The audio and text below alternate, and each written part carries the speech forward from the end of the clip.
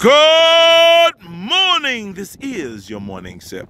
Whatever you're having this morning, whether it's coffee, tea, apple juice, pineapple juice, grapefruit juice, whatever you're having, please have with our Lord and Savior Jesus Christ.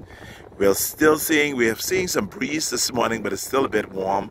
So I'm going to ask for my viewers to please stay hydrated, get in as much water, coconut water, energy drinks, whatever you can get in, to please stay hydrated. We're still seeing some temperatures.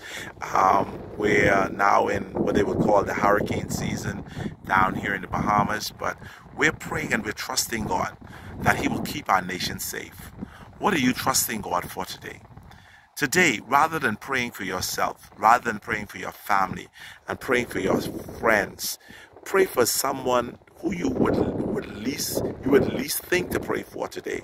Ask God to be a blessing on their lives. Ask God to guide and direct them. Ask God to be a fence all around them. Today, make this a special day to pray for others. Pray for other nations. Pray for other peoples of the world.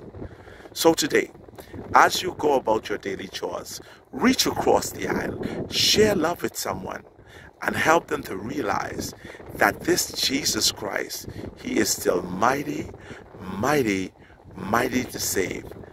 And He's not willing that any should perish, but that all should come to repentance. This is your morning sip.